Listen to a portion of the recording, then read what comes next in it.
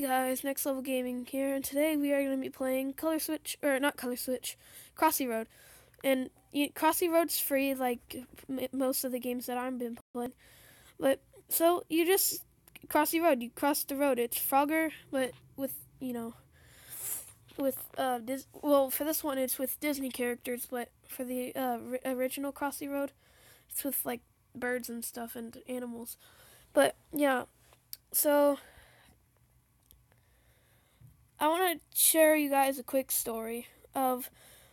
So I woke up, you know, I well I didn't wake up. I woke up from this big boom, and I didn't know what it was. So and me and my brother heard it too. So he went to go tell my parents what he heard, and you want to know what he heard? Like he heard this big like boom bang shabada blang. I don't know he heard this like boom part and he didn't know what it was. And he kind of got freaked out by it and he's like hey guys did you see that? Did you hear that?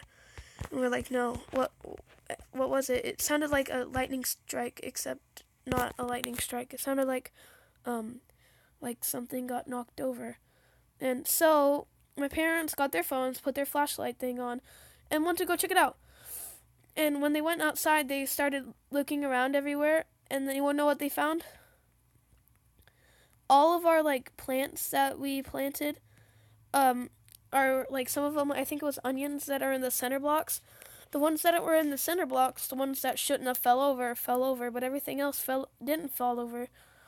Like the thing that like there was this twig that I was trying out like a test to see if it would fall off, didn't fall off. So we thought it was like a lightning strike. It wasn't a lightning strike because there was no burnt mark. Because when lightning strikes, it leaves a burn. Eh, it's science, yay!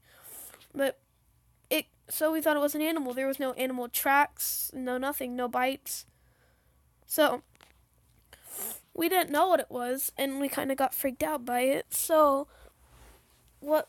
We didn't know what it was, and I didn't see it for myself until this morning. So I woke up this morning and I went to go inspect the place. It there was nothing there. It just knocked over. So then we thought it was the uh the uh what's it called? The wind.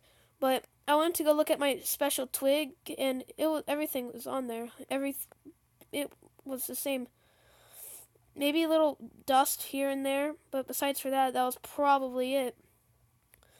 So we don't know what it was. We might have thought it was like somebody was just like, "Hi, I'm I'm gonna knock down your uh um your onions, your wild onions."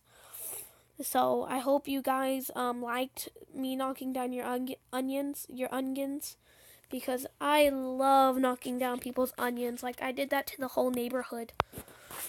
So there's like so in our neighborhood there's a little spot that you can go pick wild onions. We went over there, none of them was knocked down. There was like some that was knocked down, but there was like one for like every like uh one every like 20 feet.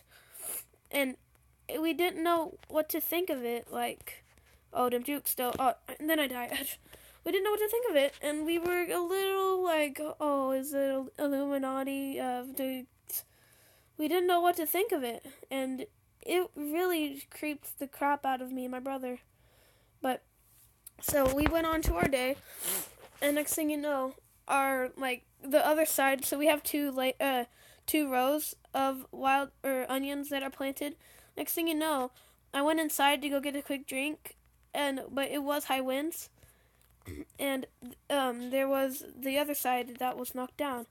So that kind of you know like oh my god what happened, which to be honest with you guys I don't know what happened maybe it's like pulling a prank or something like you know uh, what's his name? Roman Atwood's just gonna pop out of nowhere get get pranked with its onion prank.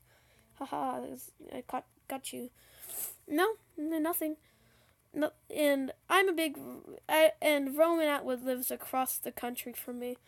So there was no way it was him or any of his like prankster friends. But yeah.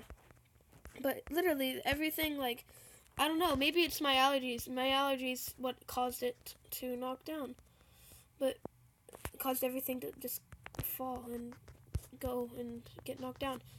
But I hope you liked the little story, and I will be doing more stories like that when they occur. So yeah, hope you guys enjoyed. And you leave a like and subscribe and join the Mushroom Army. Dang it! Dang it, well, bye.